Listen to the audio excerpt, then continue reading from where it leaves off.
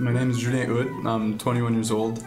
I got into the uh, program here at Dawson College uh, out of a fluke, really. I didn't, I didn't know that I would get in. It was just to apply, see if I would get in. Uh, my original intent was to go into film studies at Concordia, but finally I decided to come here in animation and been doing it ever since and fell in love with it. It's really awesome. If I were to describe my film in a sentence, uh, first of all, my film is called Inside Out. Um, and to describe it in a sentence, I'd have to say that you're not grown into creativity, you're grown out of it.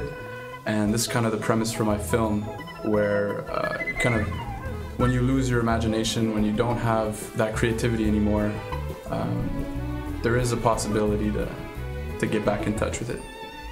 The part of production I enjoyed the most uh, is probably story development and uh, you know taking that initial idea and making it real, making it into something that everybody could see, feel, and enjoy. Yeah.